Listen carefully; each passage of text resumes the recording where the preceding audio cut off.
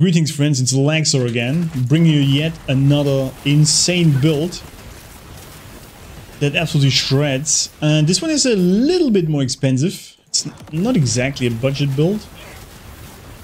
You can play it in a kind of budget version. But as you can tell, sitting at 9000 ward here. Um, you don't have to do anything you, you're just fine in general.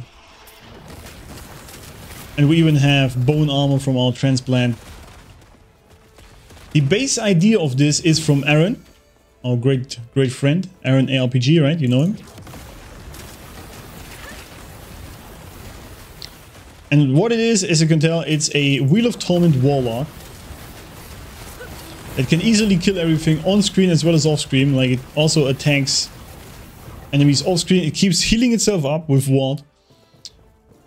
It has a ton of damage, and you can even play it as a one-click build if you want, because your Wheel of Torment also auto-casts your Chthonic Fissure every now and then.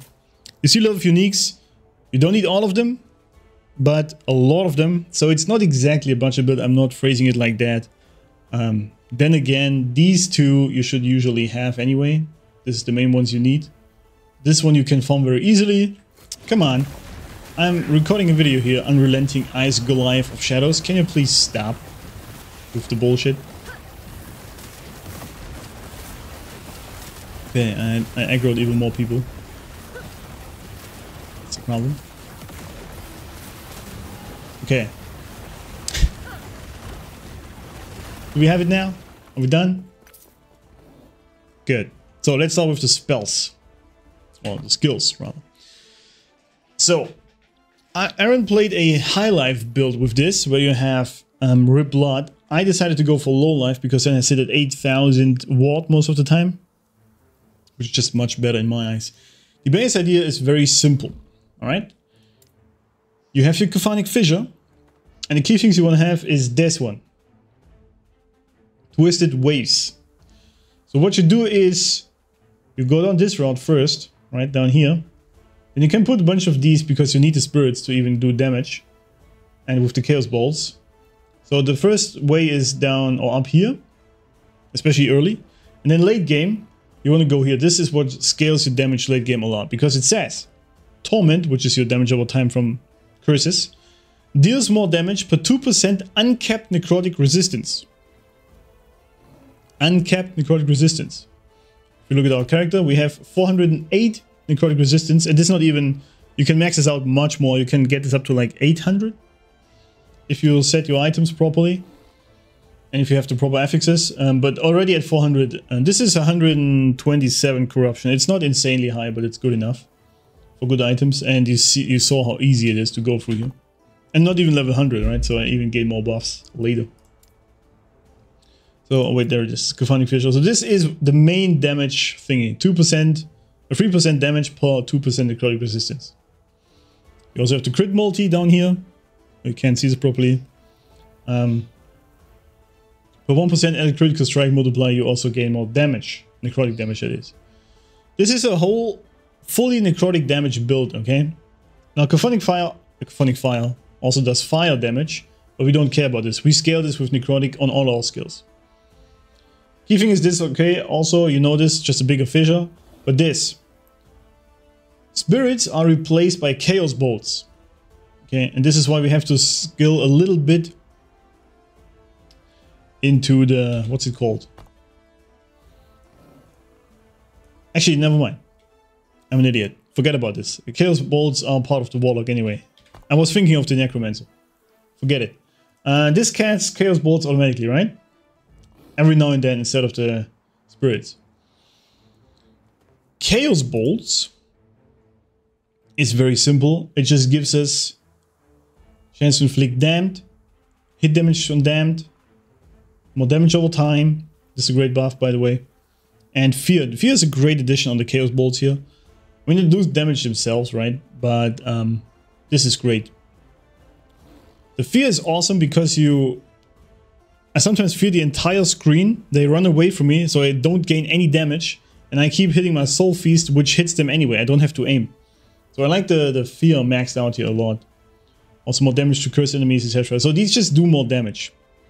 I don't go on any on these. You saw with the Blood Warlock, we went with, with these two. And Aaron also goes with Rip Blood. But you can't really go with anything health, anything that gives you health. So you also can't go down here. Okay, very important.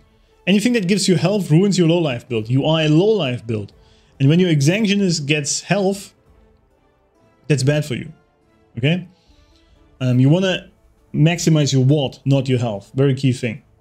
So ignore everything health. That doesn't do anything. And Rip Blood also doesn't. This is why we go with Transplant for many other reasons. Um, yeah, so this is not really crazy. It's just the fear mostly and bigger area and all that. This is what you do damage with the Chthonic Fissure. Simple. Then we have the Soul Feast. And that's also very simple. Uh, cast speed you want to have maxed out so you can actually really shred with it. This is a nice addition. Withering on hit. Withering is great so they deal damage taken from curses, that's it. You can even max this out if you want. More stacks on it. Mana cost, more ward, and also grants you mana. This is this is key. You need to usurp very early because you, otherwise you run out of mana fast because the Chaos Bolts casted by a Chthonic Fissure still use your mana. So sometimes just your Chthonic Fissure entirely eats your all your mana. Uh, additional ward, additional ward, etc. Down here you can choose between these two once you maxed out this, this tree. This one gives you more damage, this one gives you more health. So if you die fast or if you're always low on ward, you want to go with this. If your damage lags, go with this. You can play around which one you use. It's very simple. Bone Curse is casted by our Transplant automatically. This is sort of a nice addition. I really run this, I also have it in the bar because of this. 12% kill threshold. So once you get an enemy, especially a boss, below 12%, you just cast your R on them, bam, they're dead. You don't even need to fight anymore on this. Very nice. It also gives us armor shred, it gives us a bone armor, it gives mark for death, and we turn it into necrotic damage over here. This doesn't really, it's not really necessary, but um, it's kind of a nice addition. The damage is irrelevant, right? We don't do the 300, but there's really nothing else you really need. This doesn't work, by the way. I tried it. You might think it does. It doesn't. Because you never directly cast Bone Curse, or very rarely. It's auto-cast by Transplant. So we really only use this for the kill threshold and the armor shred. That's the main idea with this. You don't even need to go here if you you can keep it physical and put more into slow. Um, then you can even go with you don't even need this either. You can put the damage up if you want, but there's really no need. If you want to also throw in bleed, you can do this. It's not really necessary. Transplant. Classic thing as always. Less health used. Bone armor, bone armor, bone armor. That's a key that makes you very tanky. On top of your 8000 ward. Frenzy and haste. Very nice. The frenzy you don't need, but the haste is nice. The key thing, however, is this, right? You cast Bone Curse around the target location after you arrive. Key thing. Because this applies the armor shred on the enemy. So you want to transplant on them. You want to cast your bone, uh, your Chthonic Fish, and then you just keep hitting Q. And we turn into necrotic damage as well. And it also inflicts fear. Another one. Pretty cool down here as well. But the key thing you really want to have is this and all these max, the bone armor. That's what you're going to have. Very simple, really. Now the passives are, I mean, the Acolyte is pretty much always the same, right? Vitality gives you more health. That's cool. Water retention, you want to have this. And intelligence. Like intelligence scales your damage. Here, it's also very simple. We go with intelligence. Spell damage for curses. That's, of course, awesome. Uh, ward decay threshold. Vitality and ward decay threshold per 1% necrotic resistance. Since we have a ton of necrotic resistance, this also gives us way more ward. So you need this. Three points is enough. This is your three point bonus. That's what you want. Armor health. Health is great. Ward per second. So the whole Warlock tree is mostly around your health and intelligence. We don't do any of this shit. We don't need it. See, intelligence, vitality, health again. Uh, yeah, double damage chance, you only want this for this. The critical multi, because that crit multi also buffs your damage, as we saw in the Chthonic Fissure. If we go here. This one. And ailments deal more necrotic damage per 1% added critical strike multiplier. But this is why we go with this, right? Um, Anguish is another debuff or like a negative ailment on the enemy. You don't need it. It's a cool addition. Withering is nice. You take less damage from withered enemies. 8%. Pretty neat. And it also increases their damage taken from curses. So this is very neat. You want that. Everything else is ward, health, and um, yeah, crit multi. And this one, health, and more damage per negative you. That's fine. So the Warlock is really mostly about survivability. Then we have the Lich. Intelligence and mana regen, nice. Necrotic damage, awesome. This sucks until you get this. Well, we, you kind of have to put points in here to even get to this point, right? So we do this, this gives you health, that's cool. But the spell damage leech is bad for you, as I said, because you don't want to leech health, you have ward. So you put two points into this. Actually would wait until I have three points ready, put two points into this, and then into this, because all, all sources of health leech, all of them, are converted to increased damage at 10 times the value. So basically you just remove all health leech, you just have your ward now, but you do also more damage from any health leech, from this for example. So all the spell damage leech is turned into damage, pretty nice. And then here, the crippling insight on the lich, pretty awesome. Um, this gives you 2 points of intelligence per point on this node, so you can get 16 intelligence on this. Health regen is irrelevant, we don't have it anyway. So this scales all your damage super crazily. So yeah, you put a lot of in, in the lich. Now the items are key. I'm going to show you later also how to play this properly, how I did this whole movement step, stutter stepping. What you need definitely is Exsanguinous and the Bone Claymore Barbute. These two you do need. Actually this one as well. Yeah, sorry. So these are all legendaries by the way. You can have them just as uniques, you don't need the legendaries. You need these three. This is the absolute minimum. Then the build is good, but not crazy. Wheel of Torment is obvious, right? What does it do? Intelligence, fine. When you directly cast Soul Feast, you curse yourself. That's great because negative ailments on you also buffs your damage. Um, necrotic penetration, etc, etc. And you have a chance to cast Chthonic Fissure when you hit a boss or an enemy with Soul, uh, soul Feast. Also spell mana cost reduction, intelligence, acolyte spells. So the, the fourth one in this case, when you directly cast Soul Feast, you curse yourself and up to one nearby enemy per 10 intelligence with Torment. So that is awesome. So much curse on the enemies, that's what really why you want to have the Wheel of Torment. Extinction as you know, same as always, low life build. Bone Claymore Barbute is key, a lot of intelligence on this. You can roll this better by the way, 8 dex and 8 int is very low. I've seen 12. The lowest one, the last one. 1 ward per second per 3% uncapped necrotic resistance. So this whole build revives around uncapped necrotic resistance. This is what you see with the items as well. This one is on necrotic damage, but it also has 40% necrotic resistance on the third affix, right? Um, this necrotic damage, necrotic resistance down there, and health. Super awesome. Implicit, this is a great one if you find this. Necrotic resistance, ward decay threshold, 18 int, and armor. Insane. Ignore the totem shit, doesn't matter. If you don't have this, just get a ring like this one. Necrotic resistance as exalt, that's what you want. Necrotic resistance, intelligence, cast speed. Great mana. That's pretty much for the... If you don't have these, just go with exalts that have necrotic resistance. That is your damage, or ward decay threshold. Intelligence scales your damage, and that's what you want, or just health. Now the last steps of the living make your build even stronger, it makes you even tankier. Ward decay threshold, look, 187 movement speed, and of course it helps to eat all your health and give you um, ward back. This one is also great. The fire damage is irrelevant, fire resistance cool. 15% chance on hit to gain 2 ward per ignite and damned on the target and 30 ward per ignite and damned on you. You're gonna put a lot of damned on the enemies as well. Not just torment but also damned. We have this in our spells. So we gain ward from that a lot.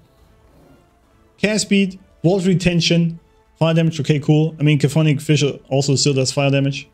Necrotic damage, nice. This one I just found today on stream, awesome. You don't get the first two buffs uh, because you don't have any current health. If you play a high life build, this is even better because it gives you ward on your health. What we want is the plus one to necrotic spells, plus one to elemental spells. So this gives plus two to Chthonic Fissure and the Chaos Bolts. Strength, cast speed, and the increased health. Makes you tanky as fuck.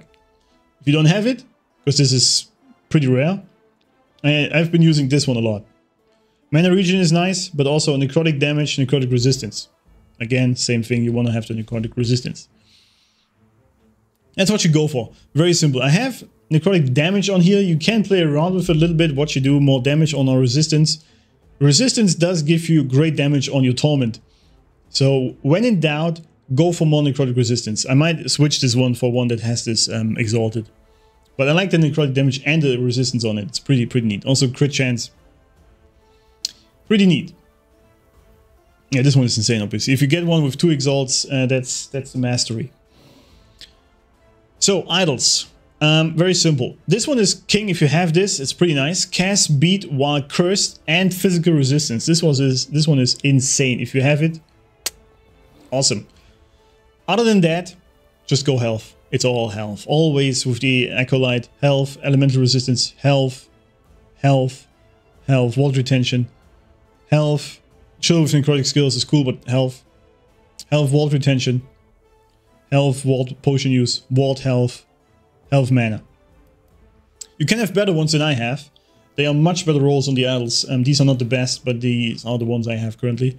Um, idols with the Acolyte are always simple. I always feel silly doing this section of the video because it's always the same. It's just health. just always health. Um, this one, of course, is a cool addition.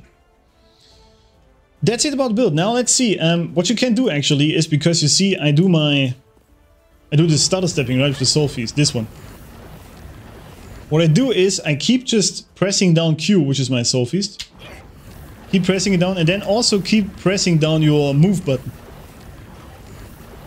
Then it sort of yeah, exchanges them every now and then. Like you do one soul feast, one move, and the game does it automatically. Alright? But this is a, cool addition to actually be moving while do the soul feast so you can slowly move out of damage as well. Other than that, what you do is you, you group your enemies, you find them, when there's any enemies around you. Okay, these are also pretty low ones unless they body block you, then you just transplant in, Chthonic Fissure, and then you just keep stutter stepping with your Soul Feast. That's what you do. The uh, Chthonic Fissure runs out at some point, then just cast it again, or you can also just do it as a one-click build. There's no fucking enemy here. What's what's going on? Um, we just do the Soul Feast, but the chance is pretty low. See, now it casts the Chthonic Fissure. That's what the Wheel of Torment does. Your unique item, right? It sometimes, it has, I think, a 10% chance to auto-cast the Fissure. For some reason, it doesn't do the double one, because we have the big one, right? If it's auto-cast by the wheel, it doesn't do the big one. I don't know why. It's weird. Anyway, this is how you play it. You also have... Okay, fuck off. As I said, Chaos Bolts you don't even put on your bar because it's auto-cast. You also have Profane Veil on here, even though it's not specialized. This is just to dodge damage, right? If there is a lot of damage coming in or you... Um, an attack by the boss is telegraphed, you do the Chthonic Fissure. Ah, sorry, the Profane Veil. And dodge it that way. Again, the Bone Curse, when you see the boss is below 12% health, it shows it at the top, you just cast your... Oh, that was not it. You just cast your Bone Curse, he's dead immediately. Super awesome. Very simple. This can take very high corruption. This can easily do 300, 400 corruption in my eyes. No problem. You just gotta look a little bit more on dodging attacks then. But see, these things that come here, these, these lines that are coming towards me, that is the Soul Feast eating from the enemies. And you can do this off screen. Sometimes you aggro enemies off the screen. Can't even see. Um, no problem. So that's just, just super awesome, very easy build. That's it for today. Um, if you have any more recommendations, if you want to change something or anything, I will also make one high life. I will look if you can make one happen. I don't like it too much, but we'll see. Um, Anyway, yeah, I hope you enjoyed it. I will see you in the next video and leave a like and a subscribe down below if you enjoyed it. Until then, have a good time tormenting people with your curses.